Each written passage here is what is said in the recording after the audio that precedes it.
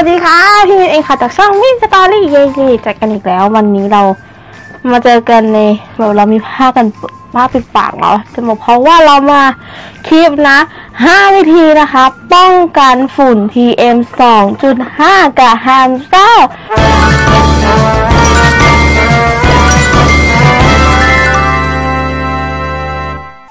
อย่าบอกนะคะน้องๆว่าไม่อันตราย อันตรายมากๆและอันตรายสำหรับมนุษย์เราเนี่ยยังอันตรายเลยแล้วแฮมสเตอร์ตัวเล็กๆอะจะไม่อันตรายได้ยังไง ไปติดตามดูกันเลยวิธีแรกนะคะ ในการป้องกันวันนี้มากับน้องสลุนะวิธีแรกในการป้องกันนั่นก็คือ การปิดหน้าต่างนะคะปิดหน้าต่าง หรือวางกรงน้องแฮมในห้องที่มิดชิดนะคะเอเดโต้ปิดหน้าต่างนะ เพื่อไม่ให้ลมเนี่ยเพราะว่าฝุ่น PM เนี่ยมันจะมากับลมข้างนอกนะ ให้ปิดประตูหน้าต่างให้มิดชิดนะคะ เพื่อกันฝุ่นเข้ามานะ วิธีที่สองนะคะในการป้องกันนั่นก็คือเปิดพัดลมใส่หน้ากรงน้องแฮม แต่ให้ห่างนิดนึงนะคะ แล้วก็เปิดเบาๆสักเบอร์หนึ่งแล้วใส่นะคะ เพื่อให้ลมพัดผ่านกรงนะจะทำให้ฝุ่นหรือละอองสารพิษน่ะพัดผ่านไปนะคะ ส่วนวิธีที่สามนะคะสำหรับคนที่มีเครื่องฟอกอากาศ หรือถ้าไม่มีนะคะ ก็ใช้วิธีสองได้ แต่ถ้าบ้านไหนมีเครื่องฟอกอากาศนะพี่มินก็แนะนำว่าให้เอาไว้นะคะ เปิดไว้ในห้องที่มีกรงน้องแฮมนะ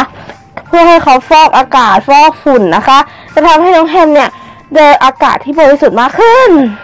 ข้อที่สี่นะคะ คือการงดพาน้องแฮมออกนอกบ้าน อันตรายมากๆนะคะ ช่วงนี้นะ ถ้าใครแบบ ต้องพาน้องแฮมออกไปเดินเล่นสูดอากาศข้างนอกบริสุทธิ์นะ ช่วงนี้ให้งดกันไปก่อนเลยนะคะ เพราะว่าไม่ดีสำหรับน้องแฮมแน่นอน ส่วนวิธีที่ห้าวิธีสุดท้ายนะคะ กับฝุ่น PM นั้นนั่นก็คือ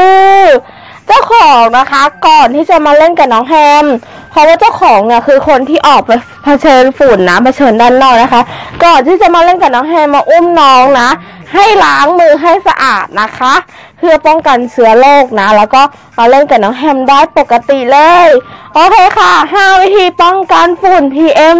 2.5 ในช่วงนี้นะ กับแฮมสเตอร์อันตรายนะคะ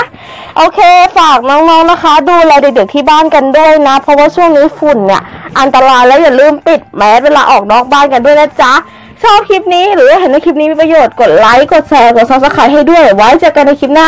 นี่นี่และซารุไปก่อนนะดูจริงๆเลย บ๊ายบาย